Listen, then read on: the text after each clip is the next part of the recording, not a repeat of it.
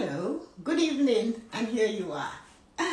As you know, I am Tessa Marie, and I am a woman on a mission. I desire to help you live a fulfilled life. And one thing I know for sure is that I do not have all the answers, but I can help you find some of the answers for yourself. So this is what I am here to do. I am here to reach you, just you. Not one billion of you, just you. You who are here right now.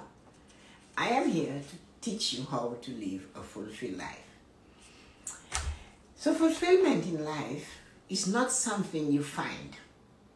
It's not something you will go and you're looking there and there it is. No. Fulfillment, fulfillment in life is something you create. You create it by wanting better. You create it by having somebody who is supportive of you. You create it by knowing for sure that you have the ability within you to create the life you desire. A fulfilled life is something you create and you can create it using the five pillars of prosperity. Those five pillars speak for themselves. When you hear the names, you realize they are needed. They are needed to help me reach where I would like to go. Mental prosperity. That means I'm ready to take on the world and hearing things, recalling things is not going to affect me. Physical prosperity. I know I can do better and I'm making myself do better. Spiritual prosperity. There's something I believe in that's bigger and greater than me. Financial prosperity, my ability to earn money to live part of my life properly. And emotional prosperity, how I respond to the information that I hear or that is told to me. So this is what happened at the testimony show with the five pillars of prosperity. You will realize you're not going to find it under the bed. You're not going to find a fulfilled life is not something you will find in, in somebody else's space is not something somebody will say, here you are, this is your ticket to a fulfilled life. No. A fulfilled life is something you must create.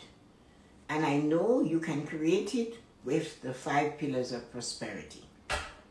So for example, when you wake up in the morning, plan to be prosperous. You must plan it. You cannot wake up in the morning and do not have a plan for prosperity. You must, when you wake up in the morning, know that you have to prepare yourself to be prosperous. You can do that if you know how to tap in and use the five pillars of prosperity as your guide. The five pillars of prosperity has been my guide. My guide for over 40 years, I have applied those principles to my life. And I have been living a fulfilled life a life where I own my own home, actually more than 40 years. I drive a car of my choice. I go on several vacations a year and I live debt free. But that didn't just happen because I decided it to. That was part of it, but I needed to find a way to live a fulfilled life and I chose to go through the five pillars of prosperity. And this is what I am here to teach you, to encourage you to embrace the five pillars of prosperity, to understand the true meaning of each of the pillars and how they come together to create a fulfilled life for you, the life you choose. So, the five pillars of prosperity and you is the series we are doing for this week. So far, we have done the pillar of emotional prosperity last night. And tonight we're doing the pillar of physical prosperity and you. The one thing that I know for sure, not having all the answers, cannot give you all the answers, but help you, encourage you, enlighten you to seek the answers and help you find some of the answers you need so that you too can live that fulfilled life. Implementing the five pillars of prosperity into your life is like getting a new script for your life. getting new directions for your life. is getting to to getting certain things in your life which will drastically and dramatically change your life. To the point where you will not even realize that your life has taken that turn. It will happen so swiftly and so calmly without no fuss, no stress, nothing. Just that wonderful feeling of wow. So that is what it is to live a fulfilled life. Then and only then will you look at the journey slightly and say, hmm, when did the change begin? What did I do? One of the things you will remember for sure is choosing to press the button for the testimony show at 7 p.m. Monday to Friday. Choosing to listen. Then choosing to take one thing from each day knowing that one particular thing that was said tonight was said just for you, not for a billion of you. There is no way the testimony show is going to satisfy every need of every human being on this planet. But what I know for sure, it will satisfy one of your needs. It will propel you to grandeur. It will propel you to success it will propel you to hold on and to keep moving in the direction of your desire. It will help you sort out yourself. One of the things you're going to notice once you have grasped those five pillars, you will notice the moment you begin living your life with the five pillars of prosperity as your guide. You're going to, the moment you decide, I'm going to live those, my life that way, I'm going to work on it that way I'm going to choose to live my life that way. The moment you make that commitment to pick up the script from the five pillars of prosperity and align it with your life and live your life through it, you will notice some changes. Your life will then look a little different. The five pillars of prosperity being your guide, that you your relationship and your love life will change. Not, uh, not only your relationships with your lover or your husband, but your relationships with others will change. And of course, that will transfer to a more intimate relationship with others. That's what the five pillars of prosperity will do for you. It's almost like you're going to be sitting on the top of a mountain with a temperature that's quite cool really relaxed atmosphere, comfort, to the point that even if you are afraid of height, you will not feel frightened of being on the top of that mountain of success. You'll sit and you will find that you're actually even moving your legs like this. You're so comfortable. You will inhale the air at the top. You will survey your surroundings with your eye. You will take in the atmosphere with your senses and you will feel fulfilled. This is what the five pillars of prosperity will do for you. Because it begins with relationship changes. When you start living emotionally prosperous, physically prosperous, mentally prosperous, spiritually prosperous, and financially prosperous, you're going to attract the like minded people You'll, you will meet people that are on that road. They're already on the path. They might be ahead of you. And the moment they hear your footstep, they're going to turn back and say, I'll wait for you. Follow me. I will take you on the journey to success. That is what will happen to you. The moment you leave those low energy dragging people behind you, or you split on that path. You leave the herd and you decided, I am going to blaze my trail by embracing the five pillars of prosperity. There isn't one person that will be able to stop you. As a matter of fact, those waiting for you to join them on that path will be numerous. They won't only put you at the end of the path, of the of the group, there will be some that will push you towards the middle of the group so you can shine even higher. That's what embracing the five pillars of prosperity will do for you. You see, because you are changing and becoming more responsive to others, that others in turn will change and become more responsive to you. You won't be alone. You might start off thinking you're alone because you've left the herd. It might be frightening. You have changed your paradigm.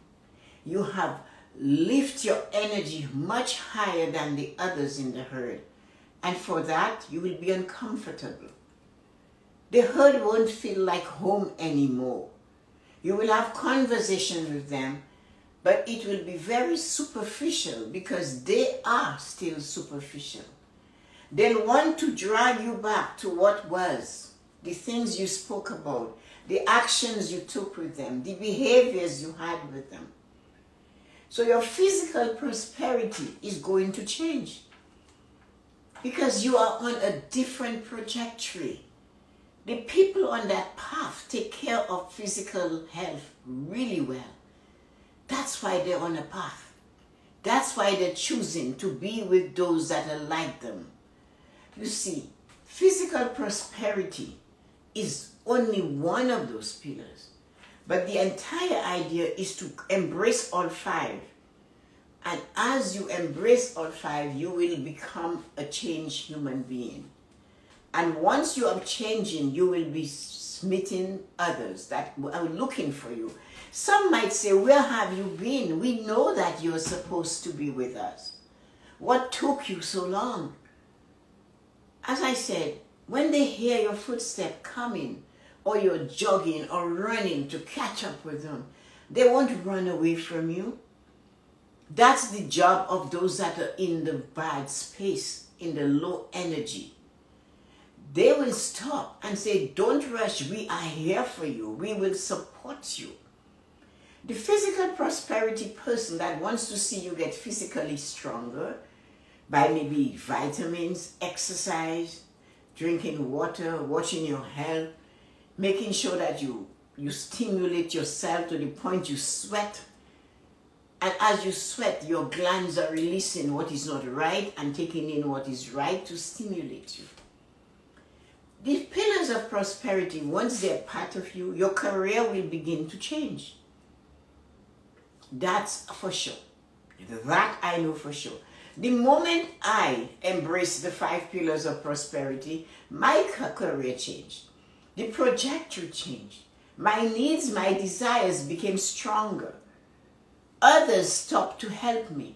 While I'm trying to take each rung of the ladder, somebody reached back and gave me a rope and said, Come on, Tessa Marie, grab it.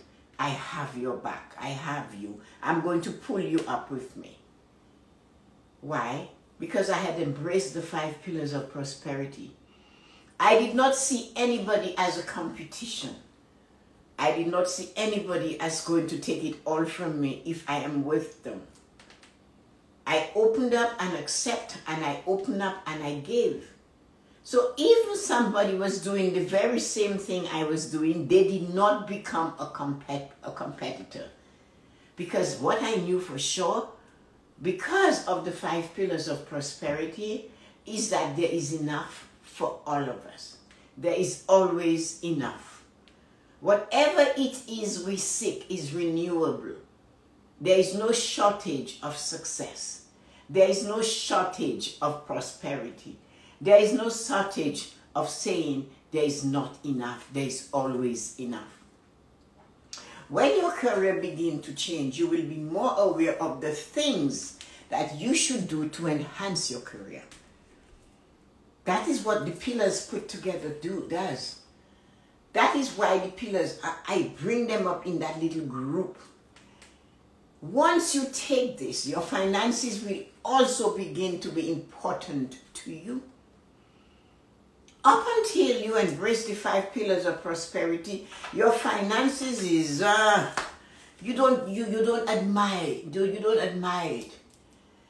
Your attitude towards money and your time will also make a 180 change. You will begin to understand that money and time go hand in hand. That's what a complete thing of the power, the five pillars do. That's one of the, that's how you're going to feel at the end of the journey of conquering, mastering, accepting, acknowledging, and taking in the five pillars of prosperity. You will feel differently. You will never be hot or harassed.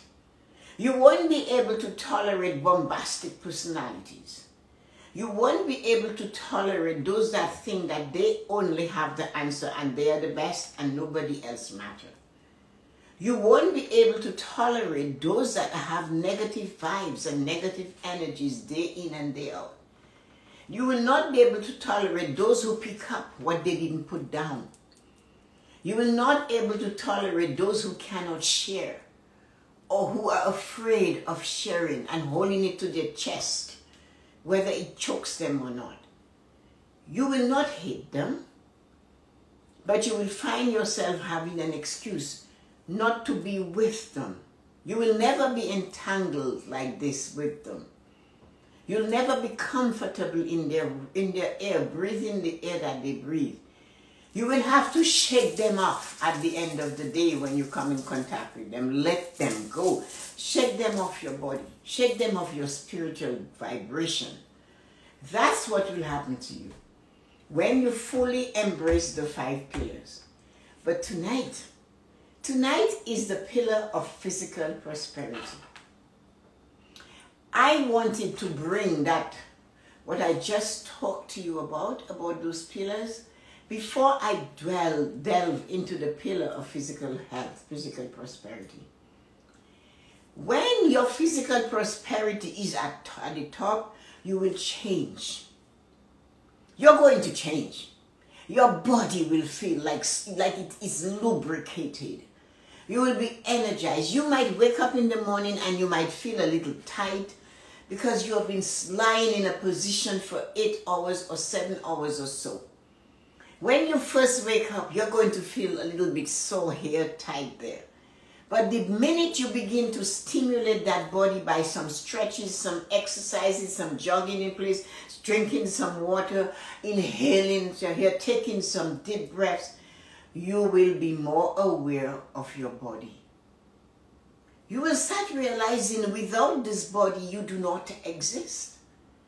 You will start to realize that every limb has its place and every limb is helping you become the magnificent you. You might be so into it that you will actually feel the pumping of the blood going through your heart.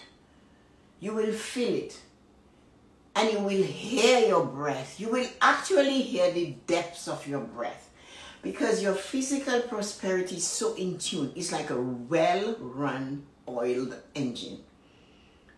Every day you will feel like a brand new engine, a brand new car.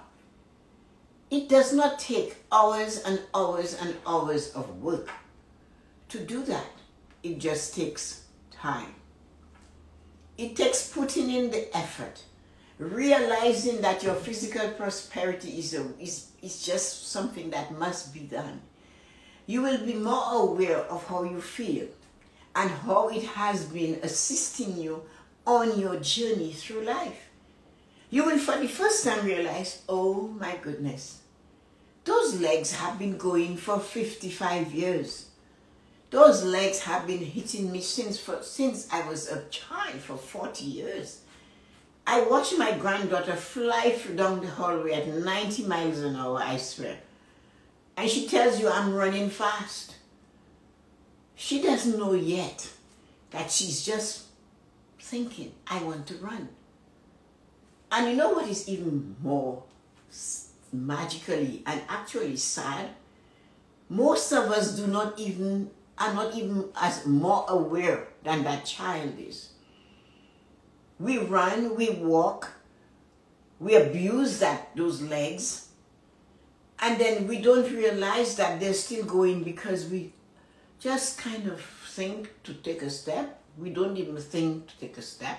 We think of where we have to go, and it goes. So when you're physically in tune and the five pillars are working for you, you are going to be more aware of how it has been assisting you through your journey through life, through your life journey. You are going to be aware of, oh my God, my legs have been, my ankle, my feet, the joints that I pound because I thought jogging was the answer, running on a pavement, hurting my ankle. And then saying, I have a bad knee, I have a bad ankle, I have a bad hip. But who made them bad? Carelessness, obesity, too much of this, not enough of that, a lot of food, no water, a lot of work, no rest, a lot of no timeouts, a lot of no meditation, a lot, a lot of no appreciation for self, a lot of thinking and believing not good enough, that I am not beautiful, my hands are this, my neck is this, my legs are this, that I am not like the woman in the magazine. All of these are what makes us wreck our body. You will find a new purpose once you have been physically, put yourself in physical prosperity. You will find a new purpose and a new reason to say physically prosperous. You will. And that reason will be deep inside of you. That reason will be you constantly saying, I can do better. I look better when I am not as heavy. I feel better when I can walk. I feel better when I've lost 20 pounds. I feel better when I am not bloated, so I know what to eat. I feel better when I drink sufficient water. I feel better if I add a, a, pinch of salt. I sleep better to the top of my tongue before I go to bed. I sleep better. If I drink some herbal tea, it makes me a little bit calmer before bed. You're going to watch that physical body of yours and you will not stop fixing it. The moment you see what you can do to it, you will not stop fixing it. You won't force others to be like you. But you are going to get people who are telling you, oh, what have you been doing? You look so good. And really, it would take a long time. And perhaps you, or maybe they, do not have the time to listen to your journey. To listen to the things you had to do to get to where you are today. Many people want what others have. They desire what you have. But many of us will not put in the work that you have put in to get to where you are. We, many of us do not have the stamina. We do not have the need. We are not persistent enough. We are not consistent enough. We haven't decided we are deserving of all of that. We cannot be bothered and some people will say to you, I cannot be bothered doing what you're doing. People will say, oh, I love you. You always look so nice in dresses and slack. Your body is just this. Your arm looks like that. But they don't know sometimes you're lifting a five pound exercise ball for five minutes, three times a day. They don't know that. They don't know that you stop eating at 6 p.m. They don't know that physically, you do not eat until 11 a.m. You have your water, your fruits before that. They don't know that you do not pile your plate this high. They do not know that you look at food in a different way to sustain you, but not to choke you. So many people will look at you and decide they want to be like you. Many of us will do that. But many of us will not take the opportunity to do what we do to be how we are. The changes might be drastic for them, or they might sometimes say to you, Can you show me what to do? I can show you. Will you do it? So the changes might be drastic, yeah, or they're sometimes slower Sometimes they just show up by themselves because you've changed one or two little things in your attitude. Do you know that your attitude towards yourself alone can change how your body reacts? Do you know that? Do you know what you show gratitude and appreciation for will always give you back? So if when you're done, at the end of the day, you start from your head and you go to each limb and each joint as much as you can tell of the organs in your body and thank them. Don't you think they would be grateful and give you more of the best? I think so.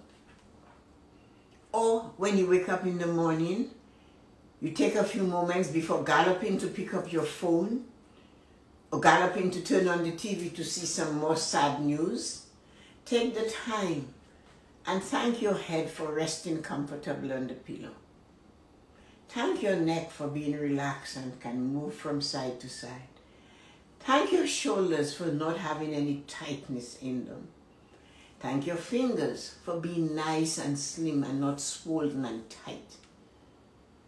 Because they are doing that and you are feeling better. So show them some gratitude for being just there. You will notice your attitude will be different. You will be less judgmental of others. You won't care. You let them be. You won't tell somebody, you go and get to do this. You must do this to succeed. You will say, you know, that's what I did. Would you like to try that? And the person might say yes. And then you can teach. But besides that, you can't. And you can call them and you can remind them, but you cannot drag them to you. I know this is different but for all those years that I taught financial um, help to others for free, for years, hours and hours and hours and hours of it. And I always said, I will not call you if you have an appointment and you do not keep it. I will not remind you that you're supposed to have an appointment with me. I am giving you this for free. The least you can do is show up so many people started the journey and it didn't end well for them because they couldn't keep up with the demands of realizing that they are worthy of a financial prosperity that is really worth it.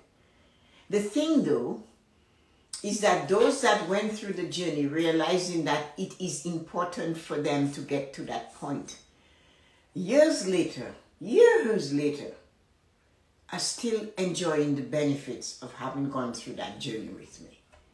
You guys all know Kathleen and you know Lisa. Kathleen started and she must have been about, I think 20. So she did it for like 18 years so far. And she's still continuing. She comes off every now and again and tell you. She was on last week telling you what she does. she's going to Edmonton on a vacation with her daughter. And she kept it. So your physical prosperity is the same thing. You cannot get to the point I've lost the 20 pounds, so I'm having pizza and I'm not only going to chew it with love and sensuality like we talked about on the Sunday show. I'm going to chew it like I'm, I'm the galloping gourmet, gram, gram, gram, gram it's all going to go into your belly, gram, gram, gram, gram, the same way. So when you reach where you are, that doesn't mean the journey is over. And that is in anything you're doing in life. When you have gotten your physical prosperity to where you want it, where you desire it to be, then the work begins to maintain it, to keep it. There is no cheat day. There is no day of binging. There is no day of saying, I deserve it. Because you are feeling better now. That should be compliment enough and satisfaction enough for you to just behave. So physical prosperity is important. You will feel it, you will understand it, you will hear it. This is why the pillars of prosperity are you, are being taught to you just for you. You who are here. You who is living tonight with a nice nugget, a black pearl, or a rare Canadian diamond. Whichever thing you got tonight was meant specifically for you, not for a hundred million of you. I come to just impress those values on one person every day. Like I said, 365 people's, uh, people a year get some a, a nugget from me, or they get a pearl, or they get a diamond. Mission accomplished. But I still have to try harder. I still have to continue to sort this out to make sure you are staying on track and you, you are getting your pillar of prosperity, all of them, all of them to be firing on all five cylinders. Sending you light and joy. Have an absolutely amazing Tuesday night. And do not forget, absolutely do not forget, tomorrow is a brand new day, a brand new month. We will have the morning blessings at 8 as usual, and at 12, a brand new series begins, September 1st. What intrigues you? That's the question. Get ready to join and participate and share your thoughts and share what intrigues you. So send in your light and joy. Have a wonderful and amazing evening. Thank you, each and every one of you, for joining me tonight. And I will see